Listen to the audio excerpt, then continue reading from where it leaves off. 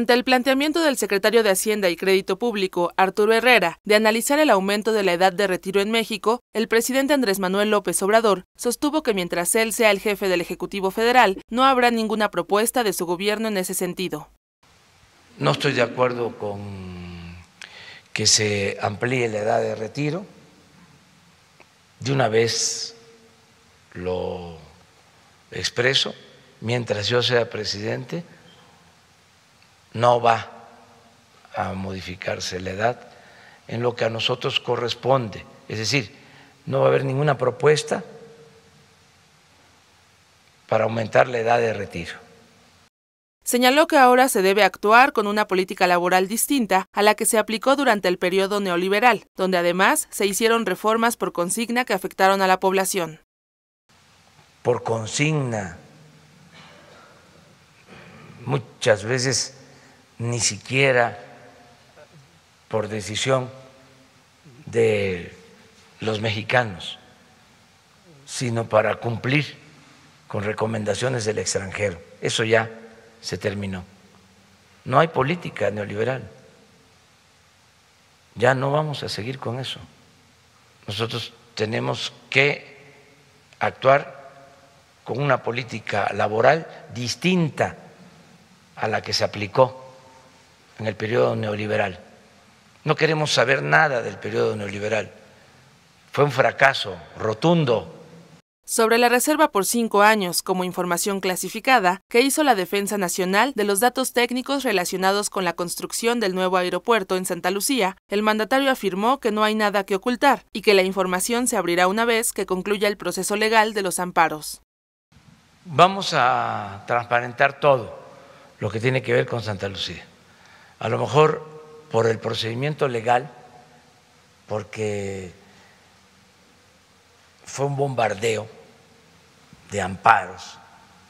Increíble, 140 amparos, 18 despachos,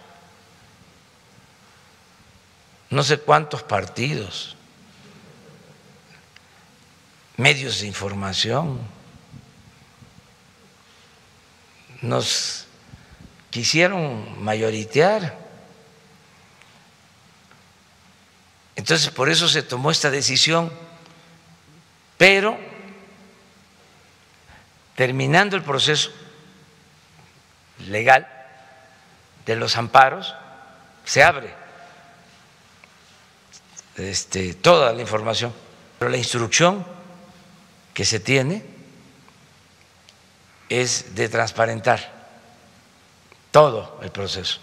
Por otro lado, dijo que el tema que enviará al Senado de la República para cubrir la vacante que dejó con la renuncia el magistrado Eduardo Medina Mora en la Suprema Corte de Justicia de la Nación, esta se ocupará por gente íntegra, honesta y de confianza. El procedimiento eh, establecido es que el presidente envía una terna al Congreso al Senado de la República. Eh, eso es lo que establece el marco legal. No, eh, tres para que sean los senadores los que libremente decidan.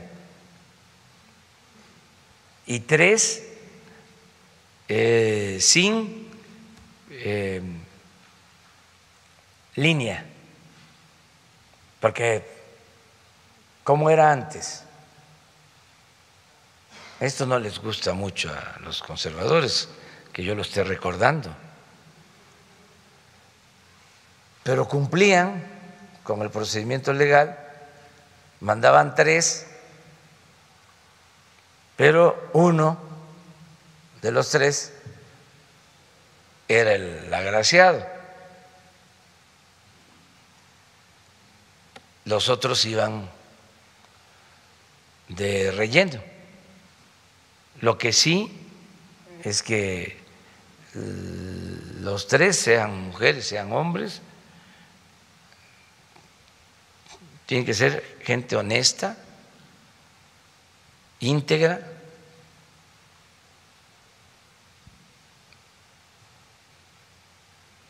de confianza para los ciudadanos, no incondicionales